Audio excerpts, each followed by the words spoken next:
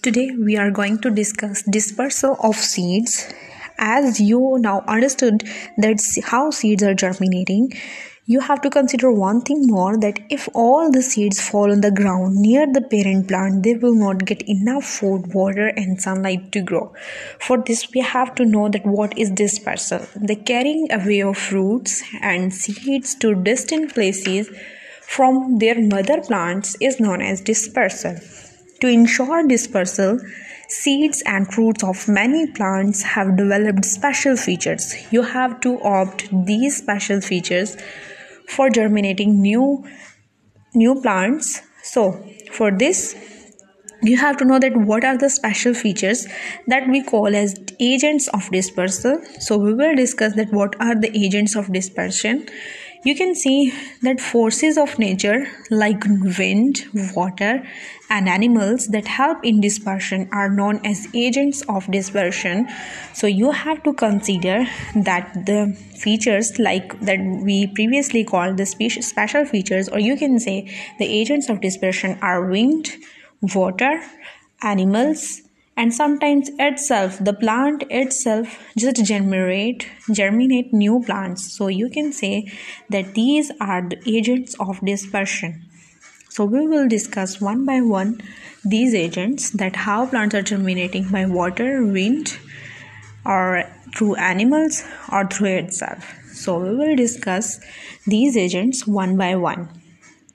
So first of all what are the agents you have to remind in your in your good books that wind water animals are the specific agents of dispersion? They are by nature. Like naturally they help in dispersion. So that's how a plant can grow. And we have to disperse these different seeds or fruits at distant places so that they can get favorable conditions to grow into new plant. So for this you have to remember again that these are the wind water and animals are the specific agents of dispersion.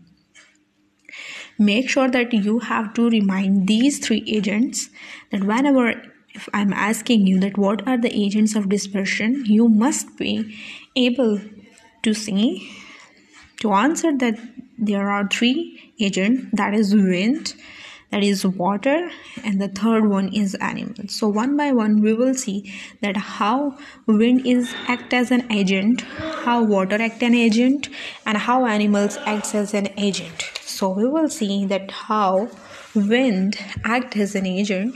So here you can see here you have a picture.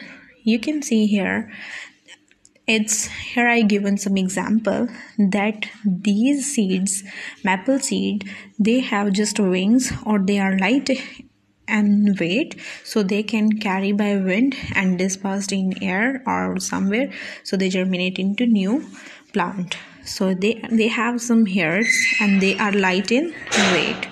So the next one is dispersion by water. So you can see here here I have picturized some coconut trees that are generally found near sea coasts. The coconut fruits have a hard but light and waterproof covering which enables them to float in water.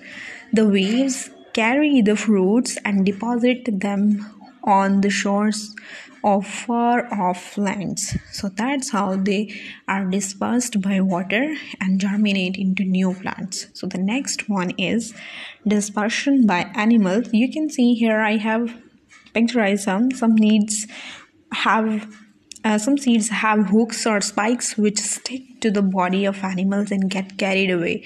The fruits of cucumber have hooked tips that stick to animal fur and get deposited at a distance. Many fruits are tasty to eat. Human beings and animals eat the freshly parts of the these fruits and throw away the seeds on the ground. So that's how they are just uh, dispersed. So you can see here self dispersion. Some fruits like the pea disperse by exploding. The pods containing the seed burst open when they are dry and these seeds scatter around. So you are now able to explain that what are the dispersion of seeds and how what are the agents for the dispersion and how dispersion by wind by water by animals takes place so i'm just going to give an assignment for you so you have to do this assignment you can see here I have depicted the picture here. You can see here I asked just example, each example for the following like a plant whose seeds are dispersed through animals. You have to give an example. A plant which grows from stem cuttings. You have to give an example for this too. And the last one is a plant which produces seed to you. So you have to give an example for each. Hope so you are getting all. Thank you.